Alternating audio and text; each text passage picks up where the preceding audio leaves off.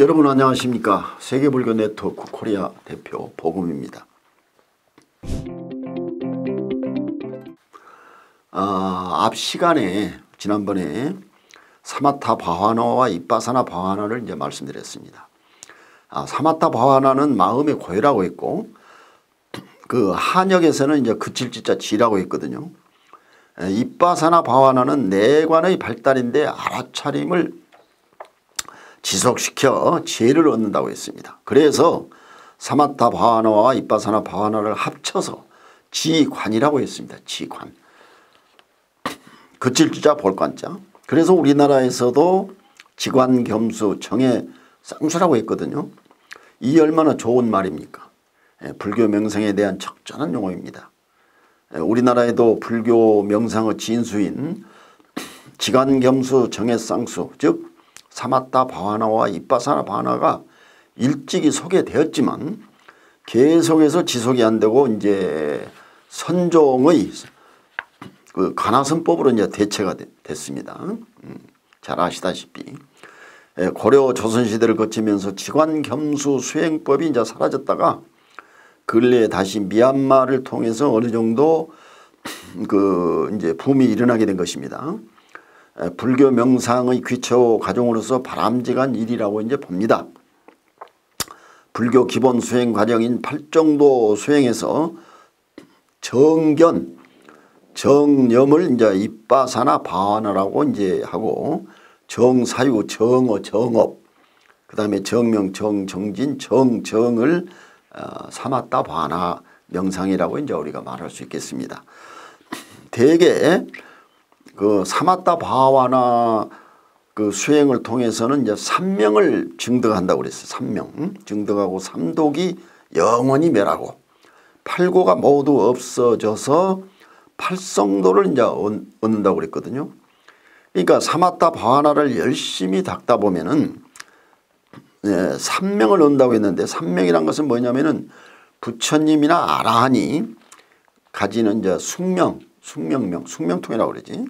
또 천안통, 천안명, 누진통, 누진명을 이제 말합니다. 그러니까 어, 사마타 바하나를 오래 이렇게 하다 보면은 이제 그 삼명을 이제, 이제 얻는다는 얘기죠.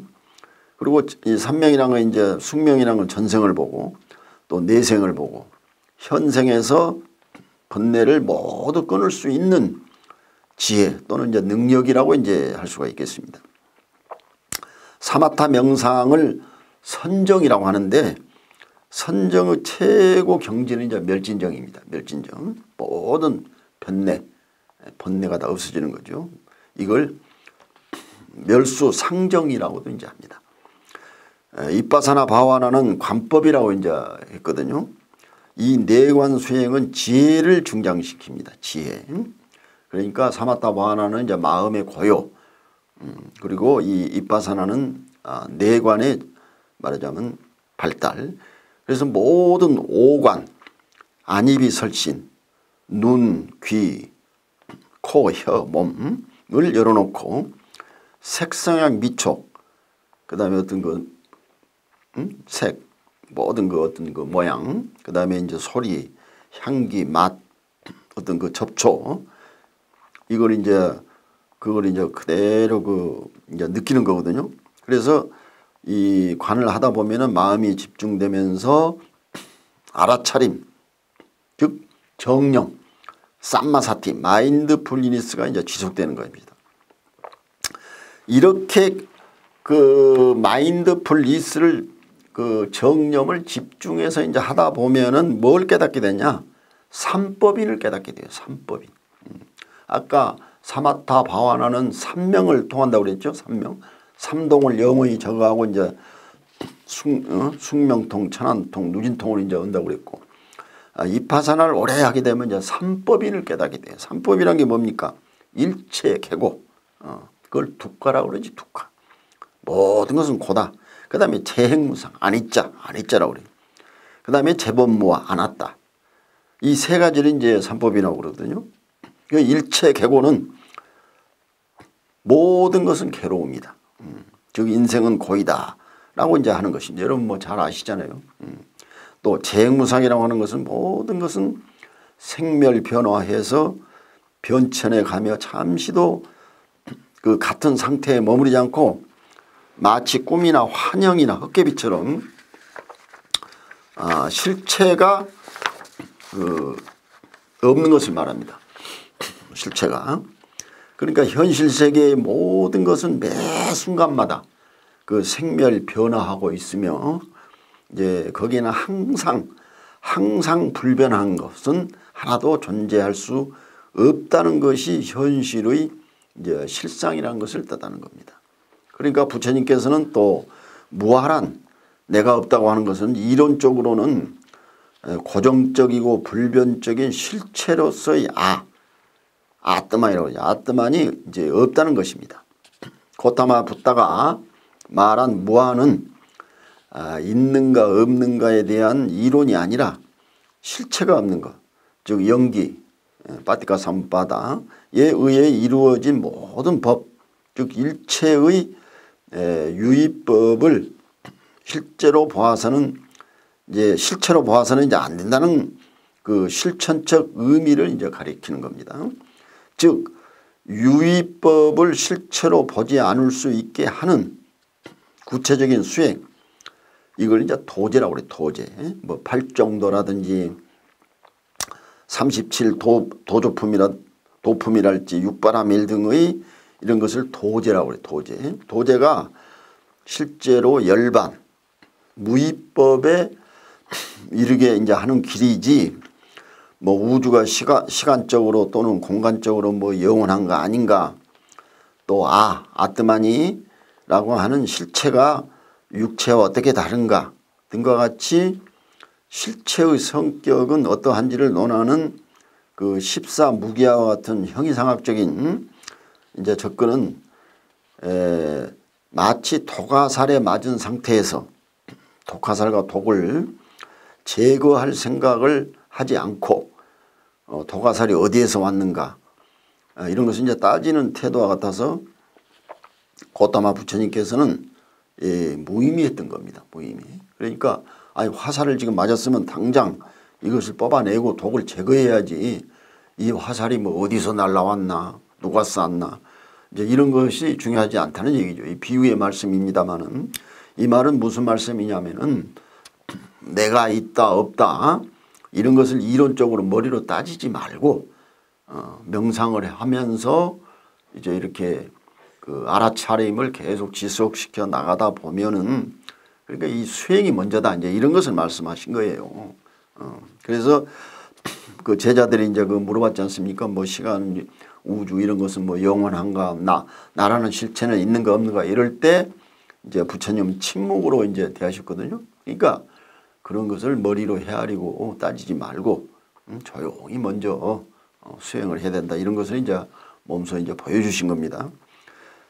그래서 불교가 신을 전제로 하는 신, 갓, 갓, 곧, 예? 갓을 어, 전제로 하는 종교와 근본적으로 다른 점은 자아의 아뜨만이죠. 아뜨만의 실제를 주장하는 브라만교와 힌두교죠.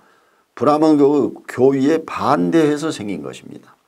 그러니까 힌두교 그 브라만교는 어떤 그 브라만 신이 어, 있다고 이제 전제했잖아요. 그렇지만은 불교는 부처님은 아니다.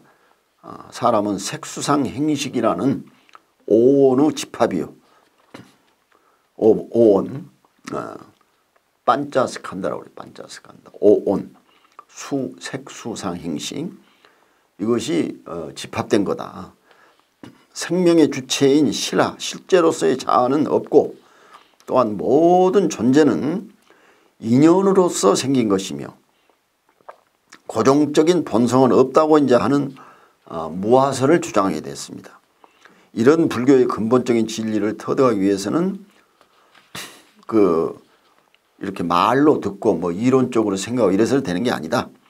어, 불교는, 불교는 이러한 진리를 터득하고 체인하기 위해서는 사마타 바와나와 이빠사나 바와나를 지속적으로 함으로써 스스로 삼법인의 진리를 이제 깨닫게 된다는 것이거든요. 그러니까 우리 불자나 아, 불자는 기본적으로 사마다 바하나 이빠사나 바하나를 해야 됩니다. 예.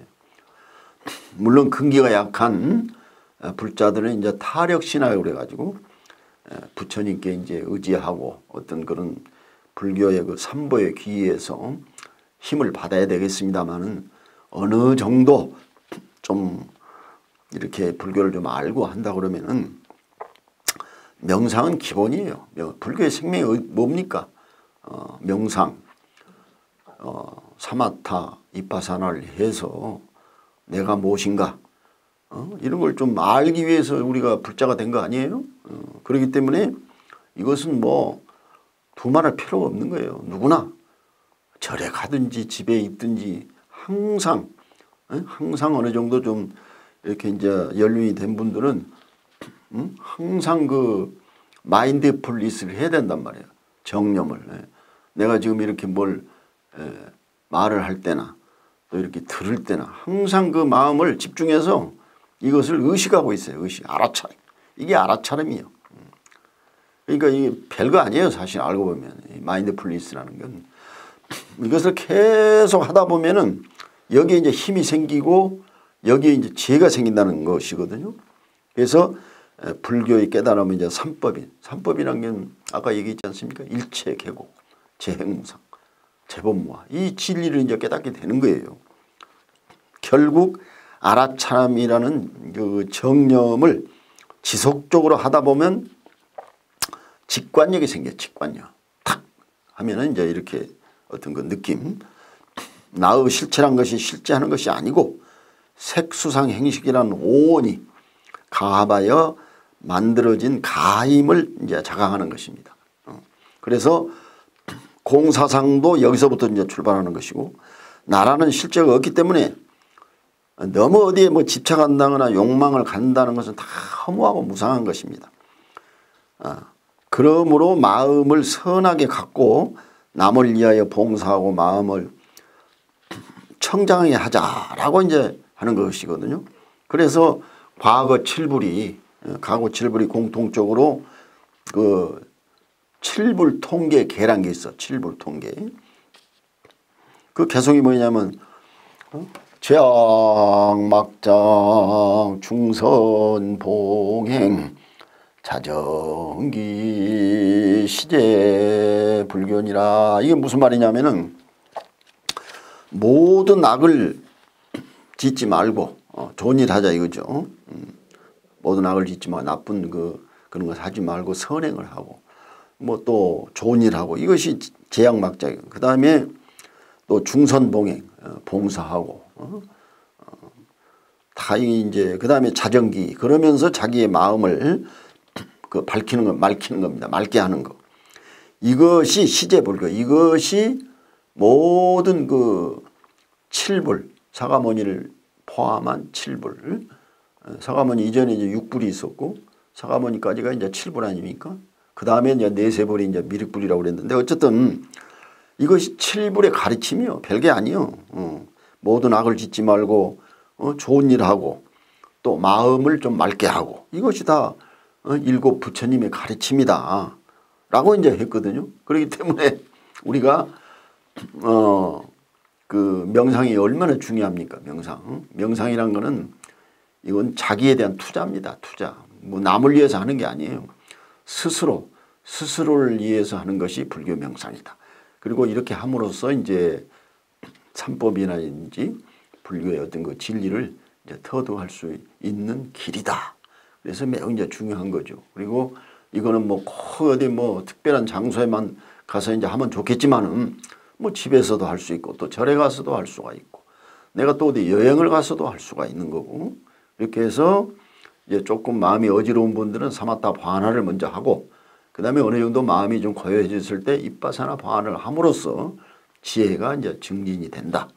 아, 이렇게 해서 어, 전 시간과 이번 시간에는 불교의 명상에 대해서 이제 말씀을 드렸습니다. 여기까지 하겠습니다.